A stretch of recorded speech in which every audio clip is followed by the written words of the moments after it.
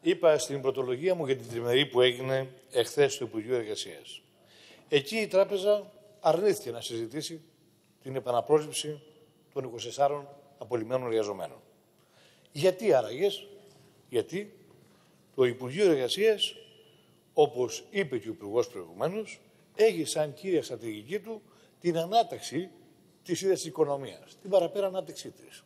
Άρα λοιπόν η προτεραιότητά τους ποια είναι; Να άρουν κάθε εμπόδιο που υπάρχει σε αυτή την πορεία. Και εμπόδιο είναι οι εργαζόμενοι και τα δικαιώματά τους.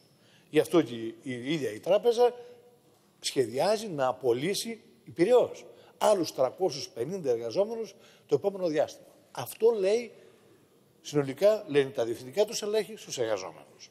Η ευθύνη σας είναι τεράστια, κύριε Υπουργέ, και οφείλουμε εδώ να την κάνουμε γνωστή στους εργαζόμενους και στην Πυραιός, αλλά και στις υπόλοιπες, οι οποίοι είχαν αυταπάτες ότι η αλλαγή στην κυβέρνηση μπορεί να διασφαλίσει τα δικαιώματά τους. Είπαμε για τις 15.000 απολύσεις που σχεδιάζουν το επόμενο διάστημα. Είχατε κάποιο όπλο στα χέρια σας να πιέσετε; Γνωρίζουμε και γνωρίζετε και εσείς ότι οι κανονισμοί περιέχουν ήδη ρυθμίσεις συμφωνημένες. Το λέω σε εισαγωγικά συμφωνημένες, γιατί το πάνω χέρι στη διαμόρφωσή τους έχουν πάντα οι επιχειρήσεις.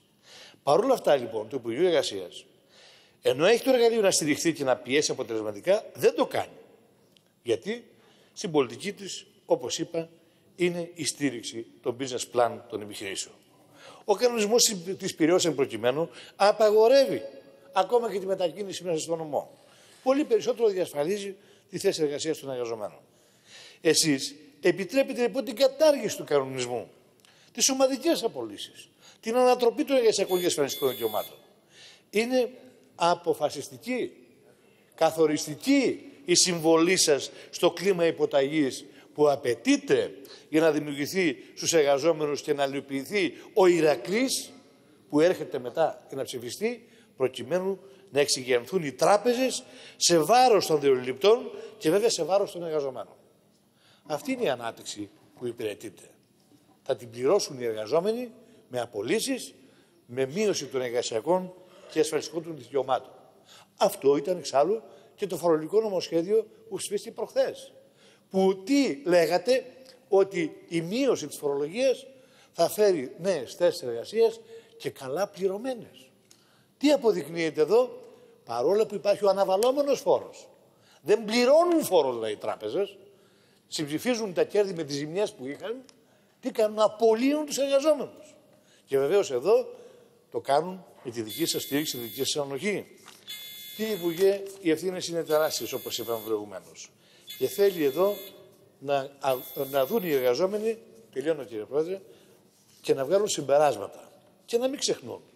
Αυτοί που υπηρετούν τους επιχειρηματικούς ομίλους είναι αυτοί που στέκονται και απέναντι στα δικαιώματά τους και τη ζωή τους. Και αυτό φαίνεται καθαρά.